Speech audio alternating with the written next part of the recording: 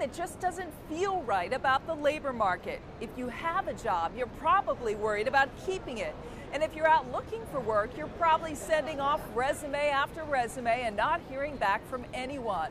Welcome to what one labor expert calls the new normal. Well, one of the things that we like to say is it, the new normal is constant change. Um, I would characterize today's workers as disposable workers. Now it seems like these joblessness is the new norm. And, you know, I wouldn't be surprised if while there's folks would be able to accept 6% unemployment, well, their 10% unemployment becomes the new norm. And that has a devastating effect for workers. We're more likely to see lots of people in temporary and contingent work and freelance work. Um, just in time employment is where an employer might hire you for a small period of time, people holding multiple jobs.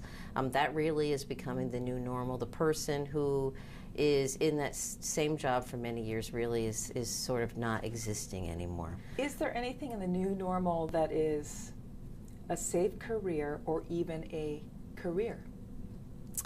Well, you know, I could say today, uh, you know, there are certain particular industries that are higher growth industries, but I would never say anything is safe in this kind of environment because I can't predict what an occupation today would seem to me logically never going to be either outsourced or globalized. You know, some of the work that we've done is showing how the system that's in this country to try to help people get back on their feet and get a job is completely out of sync with the today's economy and the labor market and the realities. Kathy Krepcio also told me she doesn't think it's possible for the economy to add enough new jobs each month to replace the millions lost during the last recession.